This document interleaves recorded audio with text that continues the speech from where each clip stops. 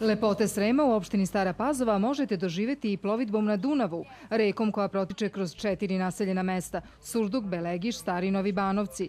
Osim uživanja u lepotama prirodnih pejzaža, turistima koji posećuju ovu opštinu u ponudi je i bogata gastronomija Srema koja uključuje i riblje specialitete sa čardi na Dunavu. Kako saznajemo, epidemija koronavirusa uticala na poslovanje ugostiteljskih objekata. Sada generalno nije sezona kao što je bila pre pre COVID-19, ali da kažem vraćamo se polako na eto da kažem taj neki stepen kao što je bilo i pre.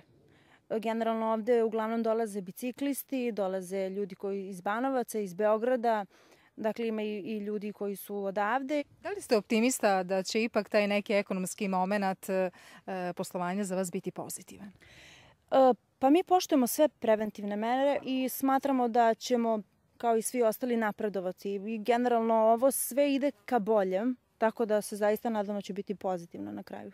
Direktorka turističke organizacije opštine Stara Pazova Dragana Zorić-Stanojković navodi da se epidemija koronavirusa odrazila na rad privrednih subjekata u turizmu, ali da im optimizam uliva to što je poraslo interesovanje gostiju za boravak u njihovoj opštini ima gostiju, ima posetilaca, ali ne u onolikoj meri kako smo navikli. Svugde u svetu je tako, tako u Srbiji i Vojvodini, pa evo i kod nas u Sremu, Staroj Pazovi, e, borimo se e, kako jeste. E, gledamo da održimo kvalitet, da, da ostanu ponuda ista i da je još bolja.